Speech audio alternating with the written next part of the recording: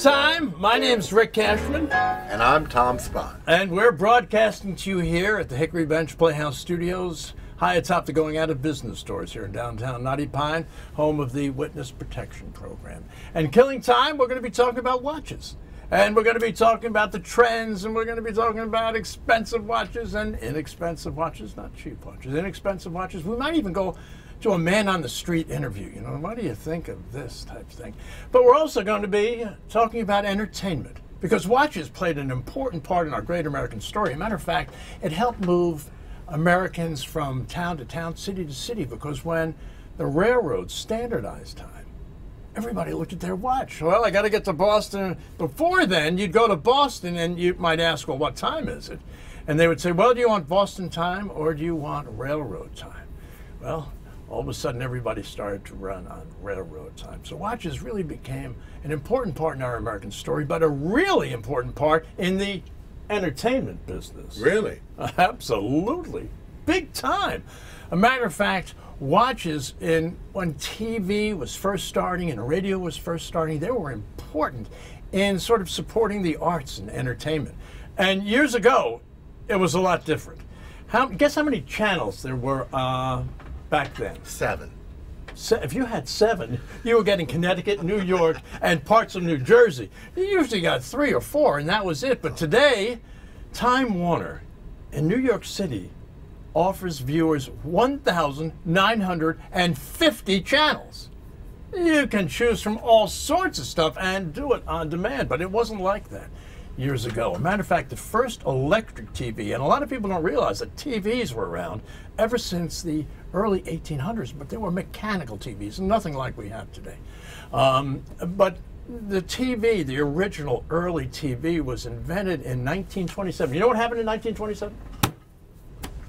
That doesn't give me an answer. There's no market- buzzer here. This is not. crashed. No, that's that's a little later. But Okay. uh, it, Lindbergh flew across the Atlantic, Ah, left Roosevelt Field, named for who? Quentin Roosevelt, Teddy Roosevelt's younger son, because he learned how to fly there, and then went to France, landed in France, and became Mondo Baffo, big hero.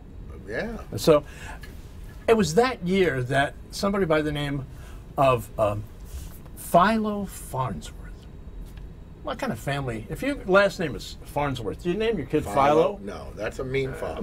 that is, you know, it's like that Johnny Cash song, you know. Yeah, so- Philo uh, invented the first real TV in 1927, and you know what? The first thing he transmitted. I do know this. He transmitted a line. That's exactly not a line with a punchline. Nope, no, just a line. a line. That was it. And he tried to get investors because this is, you know, once you've invented a TV, what do you do with it? You Mm-hmm. know, it's not in everybody's home. It's like the dog chasing the car. If you catch the car, what are you going to do with it? Right. So one of the investors saw this line, and he says, you know, that's a pretty good line. But when am I going to start to see dollar signs?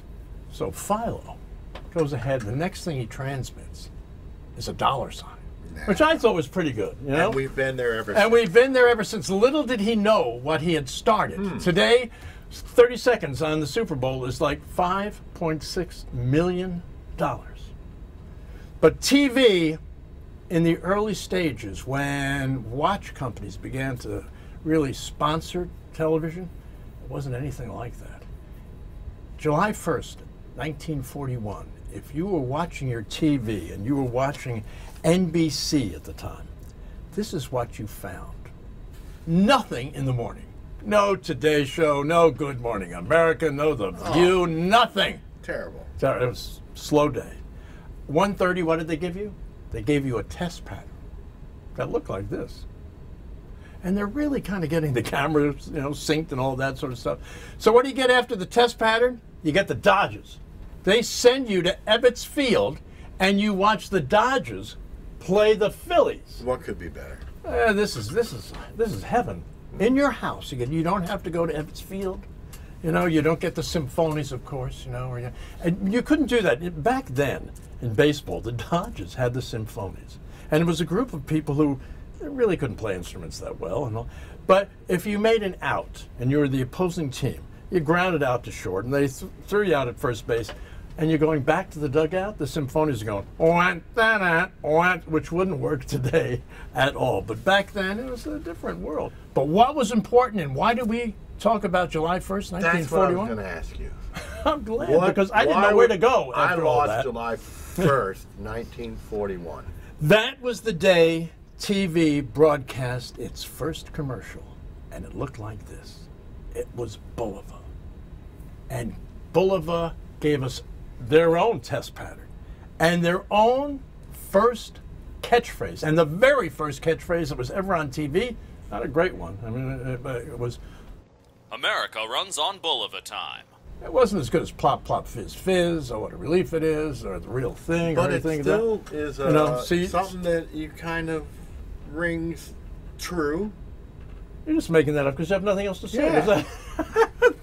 but it's not like see the USA in your Chevrolet. you No, know? it's not It- that. it's, you know, But that was the very first commercial, and it was a Bulova commercial.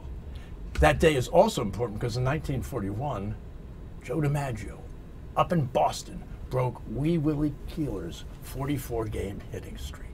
It went on to set the record. And what's interesting, he hit, it was a doubleheader, he hit in both games.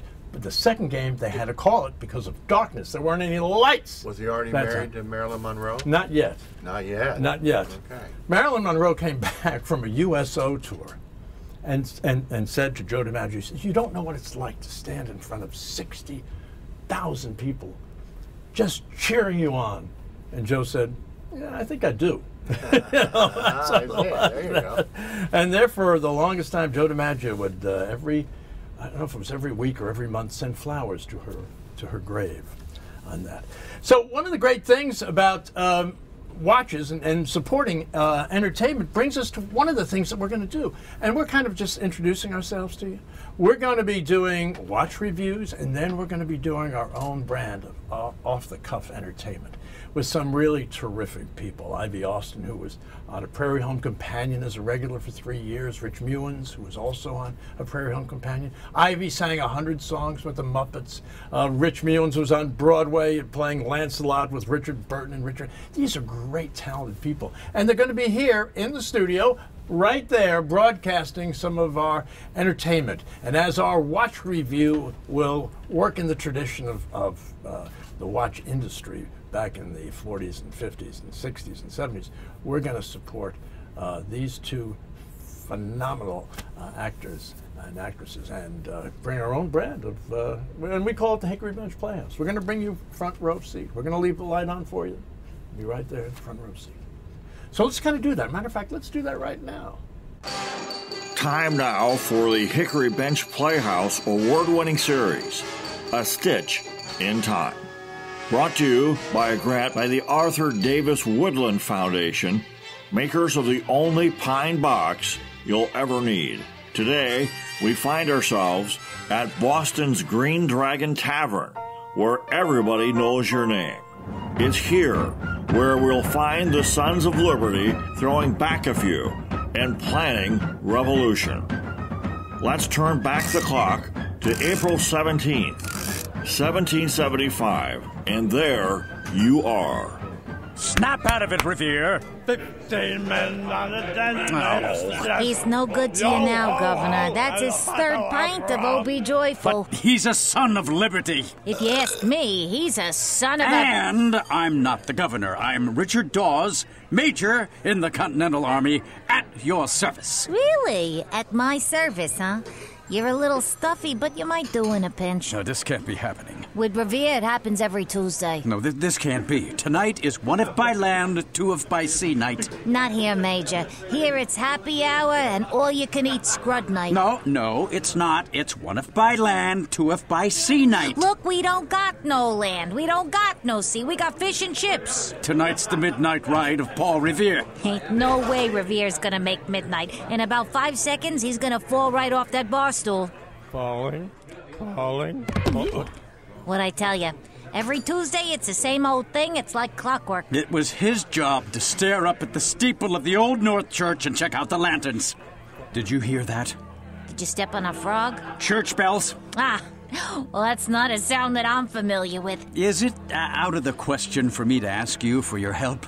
I'd love to give you a hand, but uh, the Yankees are in town. I know, and thank God for that. Thank God for that. You know, those are fighting words around here. Well, that, that's what I'm talking about fighting words. One if by land, two if by sea. I don't know anything about that. Our battle cry is Yankees suck, Yankees suck! Yankees suck! We're the Yankees! Have you gone a duty? We're all Red Sox fans in here. Redcoats.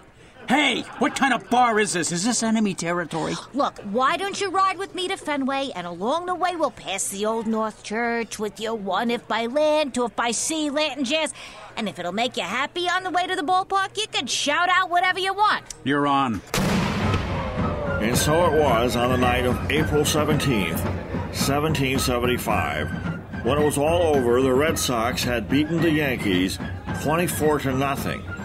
Cheers could be heard from Lexington to Concord. Yankees suck! Yankees suck! Big Poppy went 8 for 8 in what history would record as the Boston Massacre, although few cared about it at the time. One if by land, two if by sea became the battle cry of Colonel Paul Revere, who once claimed that he could read the tea leaves in Boston Harbor. The event made Richard Dawes a household name. He would later go on to host Family Feud. Remember, you heard it first on A Stitch in Time, where we turn the clock back, and there you are. The Redcoats are coming! The Redcoats are coming! How many times do I have to tell you not so loud you're gonna wake everybody up?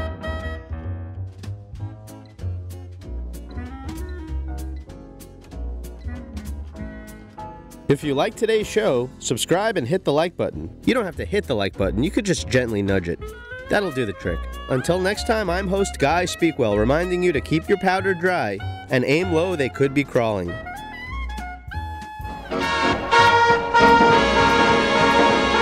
started baseball's famous streak that's got us all aglow. He's just a man and not a freak. Joltin' Joe DiMaggio. Joe, Joe DiMaggio, we want you and I side. He tied the mark at 44, July the 1st, you know. Since then, he's hit a good 12 more. Joltin' Joe DiMaggio. Joe, Joe DiMaggio, we want you and I side. From coast to coast, that's all you'll hear of Joe, the one man show. He's glorified the horse hide sphere, Joltin' Joe DiMaggio. Joe DiMaggio, we want you and I side. He'll in baseball's Hall of Fame. He got there blow by blow.